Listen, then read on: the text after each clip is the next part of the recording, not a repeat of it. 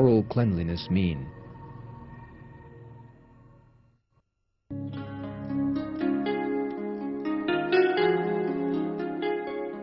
In the Quran, God states that people should be morally clean too. It is stated that he who avoids the evil of his soul and purifies it will succeed. God states in Surah 91, verse 8 to 9, The self in what proportion did it inspired it with depravity and a fear of God, he who purifies it has succeeded, he who covers it up has failed.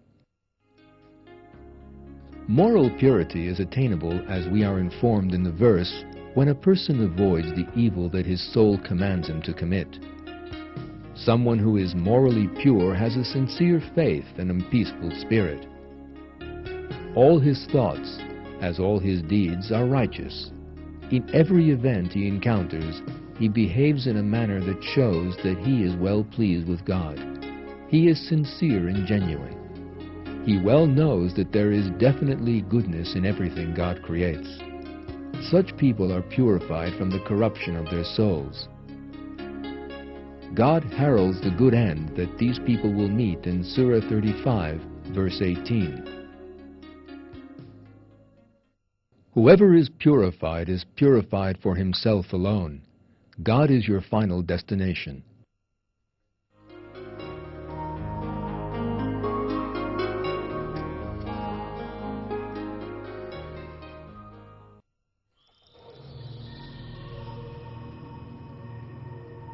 How is the care of orphans described in the Quran?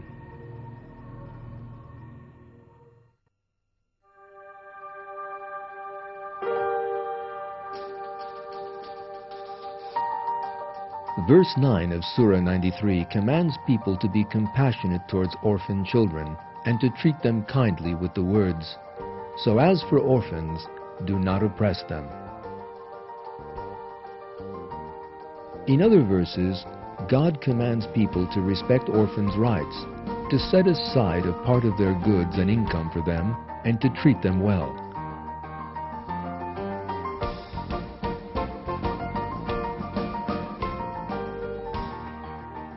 Furthermore, he recommends that assets belonging to orphans be used justly, and that these should be returned to them when they reach mental maturity. God advises people in the Quran to be careful and meticulous over orphans' education so that they should be brought up as good servants to God and have the good morals of the Quran. He encourages believers to bring up orphans by providing them with protection and material assurance. They will ask you about the property of orphans. Say, managing it in their best interests is best. If you mix your property with theirs, they are your brothers. A believer always avoids any injustice towards orphans' property because God has defined the pitiless behavior of those who covet the property of orphans and benefit from it as a serious crime and oppression.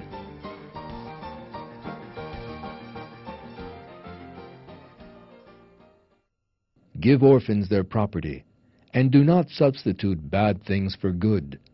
Do not assimilate their property into your own. Doing that is a serious crime. Because of all these, believers protect orphans' property carefully until they grow up and are able to care for themselves, and hand over all their rights to them when they are grown up. On the other hand, those who violate the rights of orphans and cause them distress and suffering are people with no fear of God. God has this to say about such people in the Quran. Have you seen him who denies religion? He is the one who harshly rebuffs the orphan and does not urge the feeding of the poor.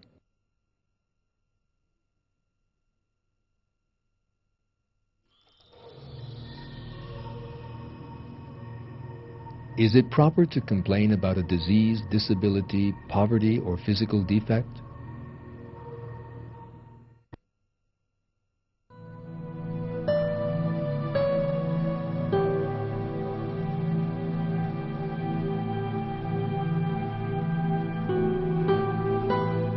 Imperfections such as sickness, disability, or poverty are specially created by God in order to make a person grasp the temporary nature of the life of this world, yearn for paradise, and accordingly make an effort to attain it. Hence, these imperfections are, in fact, blessings that God grants to His servants. For a person who knows how to take heed, these situations which seem to be difficulties in the world turn out to be great blessings in respect to his eternal life. God has promised paradise to his servants who, when faced with the deficiencies and difficulties of the life of this world, put their trust in God and are steadfast in order to earn his good pleasure. Furthermore, God will remove all the imperfections, both spiritual and physical, of these people in paradise, and will create them in the most beautiful and eternal form. That is why what one should do in the face of such an imperfection is not to forget this fact and to utterly yield to his Lord, who is the Lord of infinite wisdom. Because there is absolute goodness and great wisdom, unknown to the person himself, in the fate that God has determined for him. It is not compatible with the morals of the Koran to be displeased at and to complain of situations that people do not like, such as poverty, ugliness, or sickness. Of course, people will resort to all the means of modern medicine in the face of sickness, and will do all in their power to overcome difficulties. However, what they also need to do in the event that those efforts come to nothing is to accept the fate that God has set out for them. It should be remembered that a person who complains of and is not happy with a situation is in fact displeased with a good thing that God has willed for him.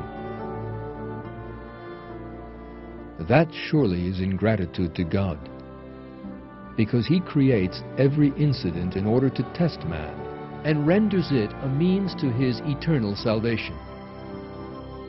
The ideal behavior that believers should exhibit is described in the Quran as follows. Say, Nothing can happen to us except what God has ordained for us. He is our Master. It is in God that the believers should put their trust.